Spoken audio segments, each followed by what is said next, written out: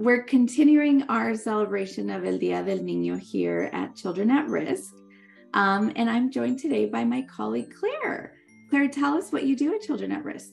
Hi, thank you so much. I am Claire Dutreix. I'm the Assistant Director of K 12 Education at Children at Risk. So I work with our public education initiatives in Texas. Tell me, what challenges do English language learners face in Texas? As we've discussed this week, El Día del Niño also turned into El Día del Libro, the day of the books, to encourage more kids to love learning um, with the bigger goal of improving our literacy rates. So, what challenges do they face in Texas?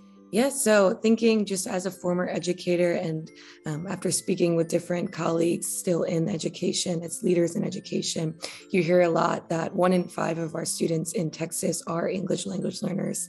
And so as soon as they come into our school systems, if they don't have teachers that or leaders in their school at all that are bilingual or even have certifications to really well equip them for success, they can start to become disengaged and feel almost insecure in a system that might necessar- might not necessarily be fully supported to prepare them academically. And when you start to feel that disengagement, it's very hard to then learn across five core subject areas plus um, to be successful, especially when that's five different teachers potentially, especially at a high school level um, who are trained differently and might have different approaches in teaching that student, just as if you or I were to enter a new country and already feel kind of vulnerable um, and then be expected to learn a subject that we might have already been struggling with, but in a whole different language. It can definitely be very challenging and isolating in an academic setting. Right. That's definitely what we're hearing from so many of our partners at the Children's Immigration Network.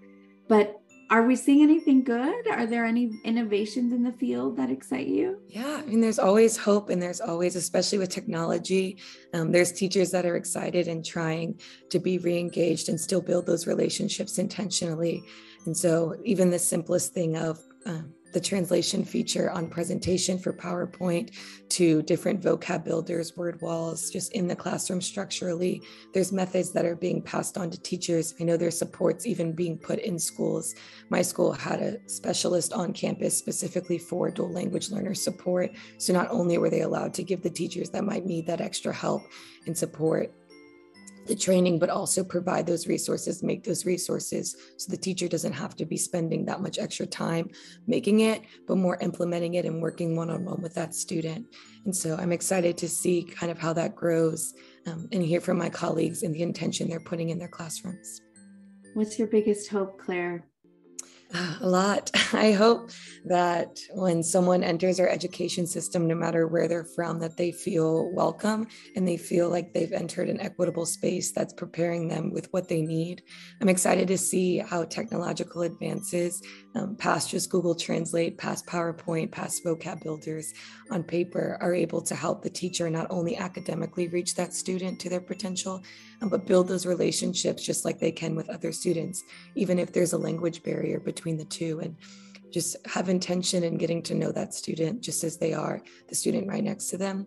I hope to see, just in general, more professional development given to teachers, being held to that standard that all teachers not only feel prepared in all of their facets, um, but especially be prepared to teach the students that are, make up a prim- primarily large part of our school populations. Um, just ultimately, I hope that when they enter our system, they feel well prepared and they feel excited to learn, um, and they don't really feel as vulnerable or disengaged because of the barriers that currently that they currently have to face.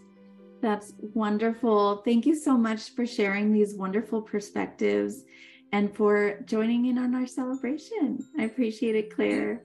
Thank you so much.